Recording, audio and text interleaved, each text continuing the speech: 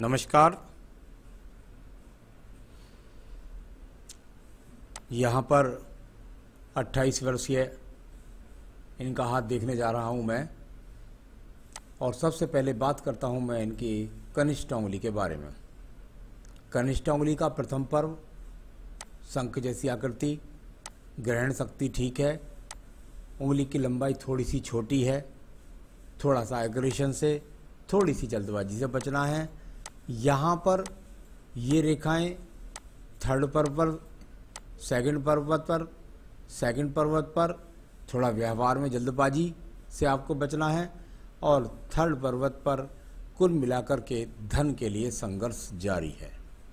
आइए बात करता हूँ मैं सूर्य की उंगली के बारे में। सूर्य की उंगली तय करती है आपके जीवन के अंतर्गत, आप कितनी ऊंचाइयों को प्राप्त करने वाले हैं, आपके जीवन के अंतर्गत कोई अग्निकांड तो नहीं है?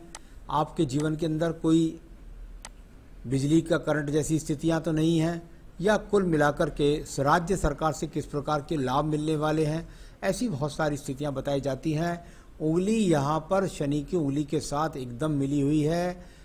तो इसका मतलब पहला तो ये हो गया कि अपने परिवार को साथ लेकर के चलने वाले हैं। उनकी जीवन के अंत समय तक सेवा करने वाले हैं। तो एक तो ये हो गया। दूसरा यहाँ पर थोड़ा सा गलत इसलिए कहा जाएगा, प्रथम पर पर जब ये कटरेखाएँ हो जाती हैं, क्रोध दिला देती हैं तेज़ी के साथ में। उस पर आपको नियंत्रण रखना है। व्यवहार के अंदर क्रोध नहीं लाना है, कोई कुछ भी कहे, क्रोध नहीं करना है आपको। तो कुल मिलाकर सम्मान के लिए संघर्ष आपका जारी है। यहाँ पर बात करता हूँ मैं आपके पर्व की, और वो है शनि की उंगली। शनि की उंगली, यानी उसके अंदर फ़र्स्ट पर्व पर माइनस रेखाएँ हैं। इसका मतलब कोई ना कोई आपको रोग आपके मन के अंदर प्रवाह प्रवाह कर चुका है, प्रेषित हो चुका है, अंदर समा चुका है, वो रोग क्या है, वो आपको पता है। कुल मिलाकर के उसके बारे में मैं ज़िक्र नहीं करूँगा। यहाँ पर अगर मैं बात करता हूँ शनि की उंगली के बारे में, अभी मैं उसको रोग, वहाँ उसी रोग में बोलता हूँ और कोई दूसरा रोग नहीं बोलता। और साथ ही साथ जब तक मैं व्यवहार के बारे में बात करता हूँ तो शनि की उंगली पर यहाँ शनि की ढैया साढ़े साथी में कोई विशेष फ़र्क नहीं पड़ने वाला है। उसमें भी आपको अच्छी उन्नति, तरक्की प्राप्त होने वाली है। वर्तमान में कुछ राहु रेखाएँ हैं। थोड़ा सा धन के लिए संघर्ष जारी है। अब बात करते हैं हम यहाँ पर आपकी उंगली की, और वो है आपकी बृहस्पति की उंगली। मैंने हज़ारों एपिसोड्स में कहा है कि जब जब ये रेखाएँ सेकंड पर्वत पर जाकर के इस प्रकार से लग जाती हैं तो वैवाहिक जीवन के अंदर बहुत ज़्यादा खटाव पैदा होता है पति पत्नी के बीच में। साथ ही साथ संतान सुख में कमी की रेखाएँ भी नीचे दिखाई पड़ती हैं वर्तमान में। और कुल मिलाकर के यहाँ प्रेम संबंधों में भी धोखा ऐसे व्यक्तियों को मिलता है, उनका धन लुट जाता है। तो यहाँ इन चीज़ों को सावधान रह करके आपको चलना होगा। चलिए मैं बात करता हूँ इसके बाद में आपके बुद्ध पर्व के बारे में। बुद्ध का पर्व, धन की स्थितियों के लिए संघर्ष रेखाएँ और डाउन रेखा यहाँ भी एक दिखाई दे गई, यानी कि विवाह के लिए राइट हैंड में दिखाई दी एकदम डाउन।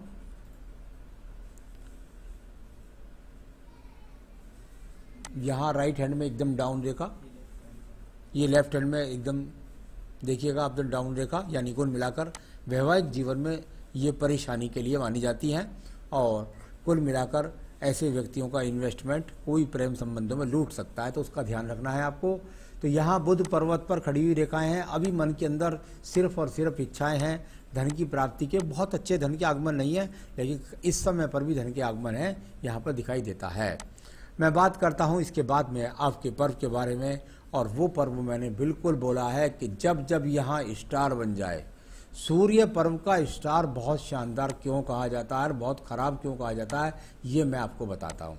जब जब सूर्य पर्वत पर स्टार बने, व्यक्ति स्वयं से मेहनत करके, प्रमाणित करके अपने भविष्य को बना ही जाता है और निश्चित रूप से दूर स्थानों से संबंध बनाकर दूर दूर तक अपनी ख्याति को सिद्ध कर देता है। स्टार बहुत बढ़िया माना जाता है सूर्य पर्वत पर। नुकसान इसका क्या है? जब जब स्टार सूर्य पर्वत पर होता है तो व्यक्ति के जीवन में उसके पिता की मृत्यु कम उम्र में हो जाती है। तो यहाँ पर निश्चित रूप से ख्याति प्राप्त करने का संयोग हाथ में दिखाई पड़ा। अब बात करते हैं इसके बाद में शनि पर्व के बारे में। शनि का पर्व और कुल मिलाकर यहाँ पर धनुर को संघर्ष करती ही रेखाएँ दिखाई देती है। 35 से पहले लेफ़्ट हैंड को लेना ज़्यादा अच्छा रहता है तो इसलिए मैं दोनों तरफ़ प्रकाश डाल रहा हूँ। अभी यहाँ पर धन के संघर्ष बनने वाली स्थितियाँ ज़्यादा दिखलाई पड़ती हैं। संघर्ष है अभी धन के लिए, अभी वो स्थिति नहीं है जैसा धन आप चाहते हैं। बृहस्पति का पर्व देख लीजिएगा। बृहस्पति के पर्व पर किसी प्रकार के अभी यहाँ पर कोई मकान बनने के योग दिखाई नहीं देते। किसी प्रकार से यहाँ पर देखो तो एकदम शून्य सा पर्वत है। यानी ये तो पक्की बात है कि धन के आगमन तो बनेंगे यहाँ पर। अशुभ चिन्ह नहीं है। ये अच्छी बात है। धन कारक ग्रह है। भगवान के प्रति काम करना, धार्मिक कार्यों में को मुफ़्त में कर देना, अच्छी वाणी के द्वारा लोगों को प्रकाशित करना तो ये सब चीज़ें यहाँ से दिखाई पड़ती हैं। अब बात करते हैं इसके बाद में हम आपके यहाँ पर सीधा सीधा हृदय रेखा के बारे में। हृदय रेखा दोनों ही हाथ के अंदर स्पष्ट रूप से बृहस्पति पर्व तक जाती हुई अभी किसी प्रकार की अगर रोग की बात करूँ तो वो रोग यहाँ पर नज़र नहीं आता है।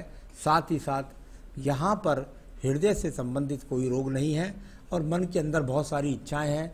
आप ध्यान रखिएगा, थोड़ी रेखा आगे गिरती हुई है, यानी कुल मिलाकर कोई आपके धन को ना लूट ले। इस बात का आपको विशेष ध्यान करना होगा। कई जगह मुझे दिखा दिखाई दी है।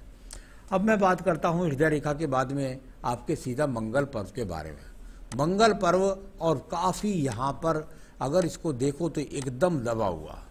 एकदम दबा हुआ, उसके बाद काटने वाली रेखाएँ भी यहाँ होना, ये अपने आप में आपके साहस को पीड़ित करने वाले काफ़ी लोग हैं, इस बात को दिखलाई पड़ता है। परंतु फिर भी एक रेखा सहायक जाकर सिर्फ़ बुद्धि रेखा के साथ संबंध बना रही है। हिम्मत नहीं हारूँगा और अपने आप को सिद्ध कर दूँगा क्योंकि बुद्धि रेखा में पहुँच गया और अपनी बुद्धि से जाकर के अपने आप को मैं सिद्ध करके दुनिया में नाम कमाऊँगा। इस तरह की रेखाएँ हैं, लेकिन बहुत ज़्यादा आदमी टूट तोड़ने वाले हैं मानसिक रूप से आपको।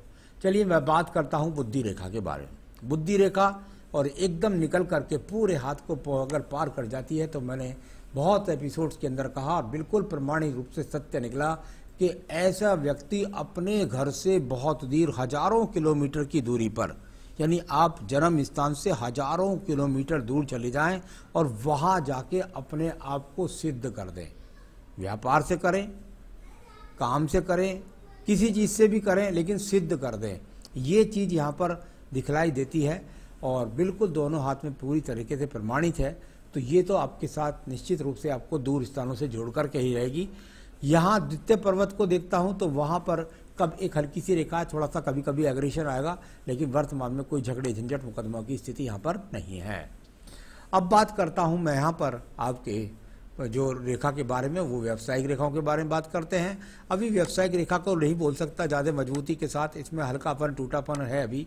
ये बहुत मज़बूत रेखा अभी नहीं बनी है हल्की हल्की ड्रॉनेस है इनमें तो कुल मिलाकर के बुद्धि चलायमान है। आप अपने कार्य को करने के लिए लगातार समर्पित हैं, ये अच्छी बात है।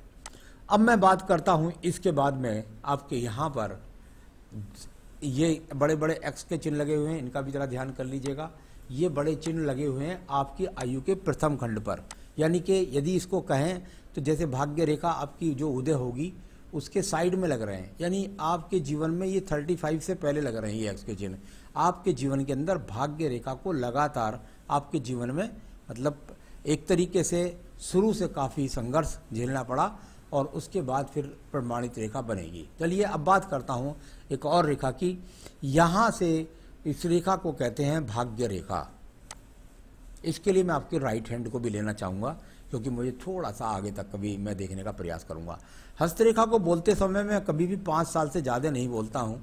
उसका कारण होता है कि उसमें बहुत सारी रेखाओं का उदय हो जाता है। यहाँ पर आपकी भाग्य रेखा का उदय चंद्र पर्वत से है। चंद्र पर्वत से भाग्य रेखा का उदय, यानी के, देखिए, और राइट हैंड की थोड़ा सा नीचे पहुँच गई बुद्धि रेखा। उससे नीचे जहाँ मंगल से मंगल को पहुँची या मंगल से चंद्र पर्वत को पहुँची। यानी कि दूर स्थान से जुड़ करके आपके दिमाग का जो सवाल है पहले वाला, संगीत वाला, वो दिखाई पड़ता है।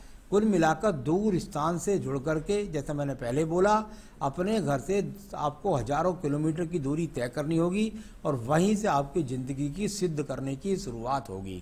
उसको ये स्पष्ट रूप से बताने वाली रेखा है, जो बहुत ही सुंदर दो रेखाओं का स्वरूप यहाँ पर दिखलाई पड़ता है। तो चलिए, ये मैंने अच्छी रेखा का स्वरूप यहाँ पर देखा है। अब बात करते हैं भाग्य रेखा, आपके पास पूरी तरीके से मज़बूत है। इसमें आगे जाकर ट्रेंगिस भी बन रहे हैं, बहुत अच्छे अच्छे वो रहे भगवान करे तो आपके पास अच्छी संपत्ति भी बन जाएगी, संसाधन भी बढ़ जाएँगे। तो चलिए अब बात करता हूँ मैं इसके बाद में आपके अंगूठे पर लेफ़्ट वाले पर। वो लेफ़्ट हैंड का अंगूठा और इस पर काला तिल का होना। यानी आपके लेफ़्ट हैंड पर ये काला तिल, जब मैं किसी व्यक्ति के हाथ में देखता हूँ तो मैं निश्चित रूप से कह देता हूँ कि भाई देखिए दो तीन बातें होती है। एक बात नपुंसकता हो सकती है। दूसरी बात, बच्चे पैदा करने में प्रॉब्लम हो सकती है। तीसरी बात, चरित्र में खराबी हो सकती है। और चौथी बात, तर्क शक्ति में इतनी ज़्यादा बात होती है, किसी को सुनने को तैयार ही नहीं होता व्यक्ति। कुछ भी नहीं सुनना मुझे, जो मैं कर रहा हूँ, ठीक है। तो ये सब बातें इस काले तिल का प्रभाव होता है, इसे मैं बोला था, बोल बोल बोल, बोलना चाहिए था मुझे तो मैंने बोल दिया है। बात करते हैं आपके शुक्र पर संसाधन के बारे में। शुक्र पर, संसाधनों का पर्व और संसाधनों के पर्व को यदि देखता हूँ तो कुल मिलाकर साधारण संसाधन पर्व है, आपके पास है। वर्तमान में साधारण संसाधन आपके पास है। इसमें राइट हैंड में काफ़ी संघर्ष दिखाई पड़ता तो स्पष्ट रेखा ज़्यादा यहाँ आ रही हैं। अभी संसाधनों के लिए संघर्ष है, इतना कह सकते हैं बात चलिए, अब बात करूँगा, इसके बाद में एक और रेखा की, ये मंगल रेखा है आपके पास में, जो आपके अंदर साहस भरती है। चाहे कितनी भी अड़चने लगाए कोई। यहाँ पर एक रेखा का और संबंध देख बता देता हूँ आपको। ये दो मुखी रेखा यहाँ से चली और इस तरीके से जाकर के ये रेखा यहाँ पर एक तरह का मछली का सा लगेगा आपको देखो, नहीं, मछली जैसा नहीं है। यहाँ इस तरीके से ये मछली जैसा चिन्ह लगेगा आपको, लेकिन ये रेखाएँ जब आपस में काटती हैं तो कभी कभी ऐसे चिन्ह भी बना देती हैं। तो कोई मछली जैसे की बात नहीं कर रहा, मैं बात कर रहा हूँ दो मुखी रेखा का थोड़ा सा दूर जा के ख़त्म हो जाना यानी कि पृथ्वी माँ पिता से अपने आप में कोई ज़मीन मिल जाना और उस पर थोड़े दिन का अपना गुजारा बसर करना। इतना मज़बूत नहीं है कि इससे कोई व्यवसाय नहीं मिलता, कुछ नहीं मिलता, बस ये है बुद्धि बल मिलता है। तो चलिए, मैंने ये सब रेखाओं को इस तरीके से यहाँ पर पढ़ करके आपको सबके फलों को बताया। चंद्र पर्वत को ज़रूर पढ़ना चाहिए, क्योंकि ये मानसिक मजबूती के लिए है। चंद्र पर्वत को यदि मैं देखता हूँ तो ये यहाँ पर सभी तरीके से मानसिक मजबूती को वर्तमान में दर्शाता है। किसी प्रकार के डिप्रेशन का योग नहीं होगा, किसी प्रकार से मानसिक खराब स्थितियों से संबंध नहीं बनने वाला है। यानी मानसिक मजबूती आपकी पूरी तरीके से आपके साथ में है।